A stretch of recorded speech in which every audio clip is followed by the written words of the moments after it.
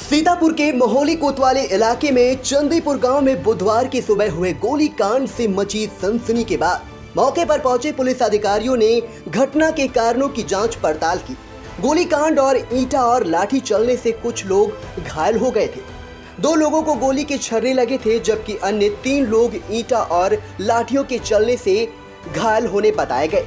घटना के बाद मौका वारदात पर पहुंचकर अपर पुलिस अधीक्षक दक्षिणी N P Singh CO Moholi Aman Singh और कोतवाल अनूप शुक्ला ने जाँच पड़ताल की।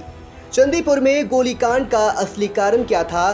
कितने लोगों की गिरफ्तारी हुई? अपर पुलिस अधीक्षक दक्षिणी एनपी सिंह ने जानकारी दी। आज सुबह लगभग आठ बजे सूचना थाना महोली पे आई थी। थाना महोली के ग्राम चंदीपुरवा में एक फायरिंग हुई, इसमें दो लोग घायल हो गए हैं। ग्राम में हम सभी लोग विज़िट किए, वहाँ जाके जानकारी ये हुई कि वहाँ पे एक धनई नाम का व्यक्ति है, जो कल अपने दरवाजे पर बैठा हुआ था। गाँव के एक पासी समाज के व्यक्ति बाइक से बहुत तेज उसके बगल से निकले, जिसके धूल उनके ऊपर पड़ गई। जिसको लेकर दोनों में कल बातचीत हो गई थी, आपस में लोग मारपीट कर लिए थे। आज सुबह धनई के पटीदार पंकज हैं, जो डेयरी का काम करते हैं दूध लेकर के वो डेयरी पे जा रहे थे। जो मंगू या जो मंगू का दामाद, जिससे कल झगड़ा हुआ था, उसके परिवार की महिलाओं ने उनको रोक दिया, उनके साथ मारपीट किया। बाद में वो अपने घर पे भाग के आए तो कुछ लोग इधर से, कुछ लोग उधर से अपना आपस में पत्थरबाजी कर लिए। उसी बीच में कोई एक व्यक्ति ने बारह वर्ग के तमंचे से दूर से फायर कर दिया।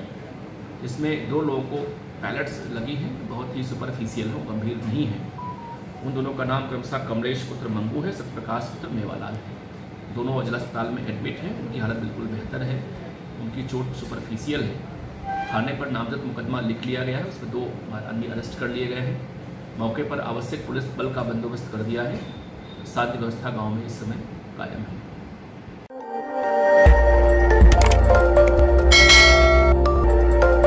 खबर आपकी, नज़र हमारी।